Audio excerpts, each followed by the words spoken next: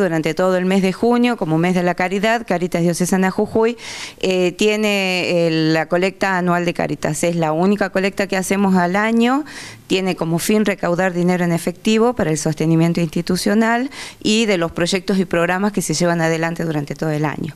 Así que eh, durante todo el mes van a poder encontrar las alcancías, los sobres, las urnas, las distintas modalidades de trabajo que tiene cada parroquia.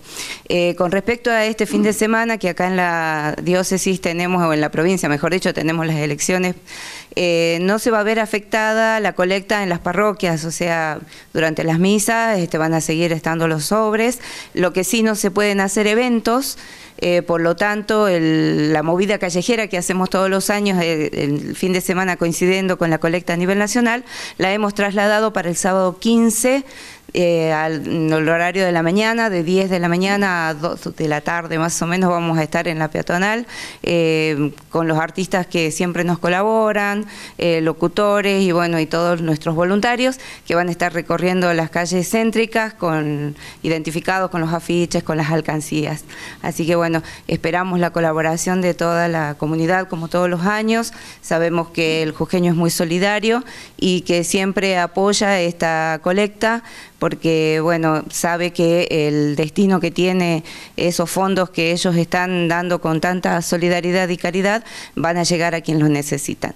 Este año nuestro lema es compartir transforma vidas, así que queremos compartir para transformar no solo la vida, la vida del que recibe, sino la vida del que da también, ¿no? Con tanto cariño. Además de colaborar eh, en esta colecta con fondos, también la gente puede ayudar, como siempre, con ropa, con alimentos, esto durante todo el año.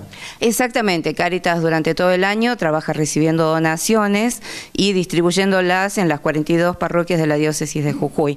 Eh, no solamente ropa o calzado, sino que estamos este, teniendo muchos pedidos de eh, artículos de higiene personal, eh, y también de limpieza. Así que si se puede llegar a colaborar con esto, bienvenido sea, ¿no? Vamos a recibirlo.